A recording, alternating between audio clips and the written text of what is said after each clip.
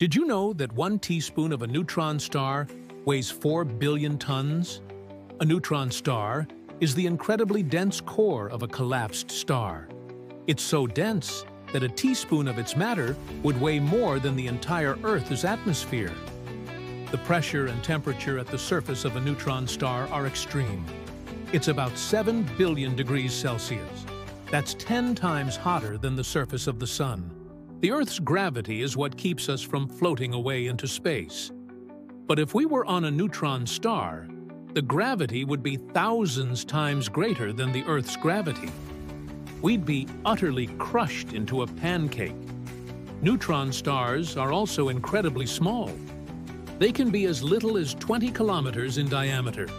That's about the size of a city. Yet they can have a mass greater than the Sun. If you were to take a teaspoon of a neutron star and place it on the Earth's surface, it would leave a crater that is hundreds of meters deep. It would be like dropping a giant boulder from a very great height.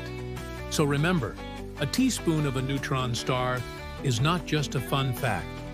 It's a reminder of the awesome power of nature